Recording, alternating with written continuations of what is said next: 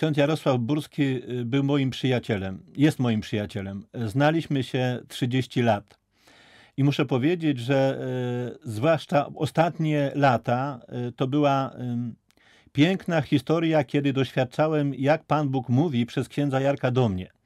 E, ksiądz Jarek odczytywał znaki czasu, e, jak trafić do dzieci, jak ukazać Kościół żywy młodzieżom, jak pomagać biednym. Cieszył się, że mógł, mógł w czasie nawet śnieżycy zawieść Pana Jezusa kładem do chorych. E, I to pokazywanie Kościoła wszystkim, nawet ludziom da, będącym daleko od Boga, było jak gdyby jego taką wielką misją. W ostatnich miesiącach e, na naszych wspólnych rozmowach często mówił o tym, o pięknie nieba.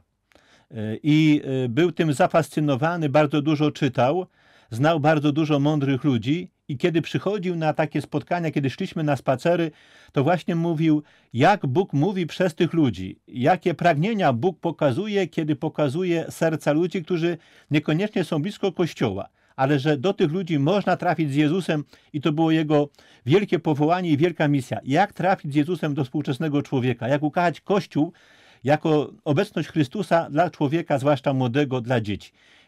Cieszę się, że go mam w sercu, bo dzisiaj po jego śmierci e, jeszcze bardziej jego słowa do mnie docierają niż wtedy, kiedy go słuchałem osobiście.